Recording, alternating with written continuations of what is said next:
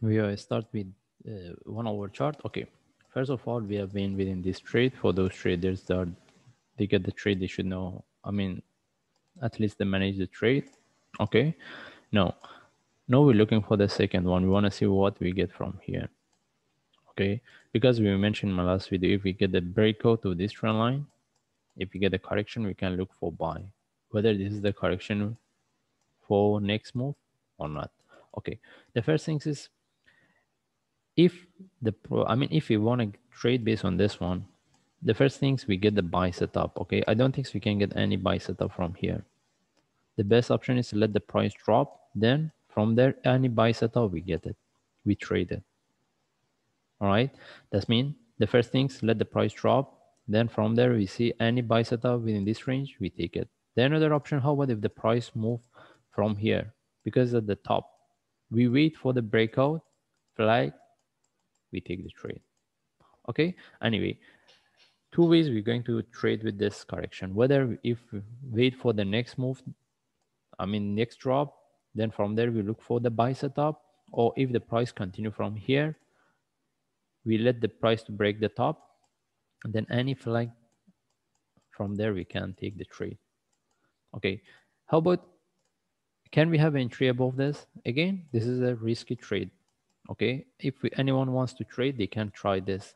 The only reason we get this trade is that may if i mean if we don't get the down move and the price continue from here okay? In this case the third way we can have a we can get the trade having entry above this but what we expecting we want the price to tag and continue. The price is tag is in within one or two hours is not moving we take out the trade this is very risky. It depends on the traders whether they want to trade with this, they have experience or not. But the best thing is whether we wait for the one move down, then we get any trade set up within this range, or if the price continue from here, wait for the breakout, next for like we buy. This two option is more safer, but having entry also above this is quite risky. Okay, now uh, if we move to 15 minute, all right, as I say here, we should know that the price may come to this top for one more drop. That's why if anyone wants to have entry above the top, they should be aware both this. And how about if we move, we start with the daily chart?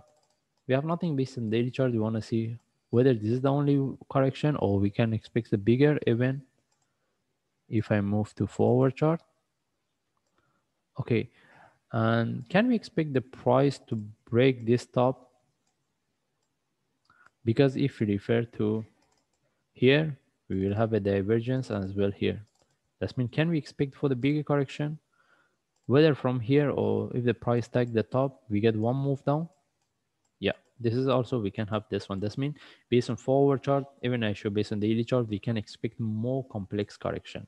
That's why if we move to one hour chart, if we want to buy here, we have to get the trade set up.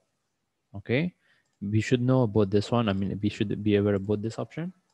That what we could, I mean, the way we we're looking for, I mean, the play, the price we're looking for buy is at the top, and we should know that maybe we go for bigger correction for the next move up. That's why if you want to buy here, the best things let the price drop, then we get any trade set up within this range. We take it with a sharp and a small flag based on lower time frame. And as long as the price come to this top, we start to manage it. The another option is let the price break the top, as I say, breakout the top, get the flag, then from there we look for buy. Because in these two, the first and second option, we can get the trade, um, I mean trade setup, okay? Because we know that may the price move for the bigger correction based on four hour chart. That's why having entry above the top is really risky but still the traders with the experience they can if they can risk they can uh, go for this way i mean this trade. And what we want we want the price tag and continue with the price tag. Which is not moving within one or two hours we take over the trade. Anyway we just follow the chart. And the only thing is whether we get the uh, buy setup from here or not. And also we need to know that even we get the buy setup within this correction as long as the price come to the top, break the top. If it's not moving, we take out the trade because we should be aware about the bigger correction. Anyway, we just follow the chart. If I see any changes, then I will share. Thanks.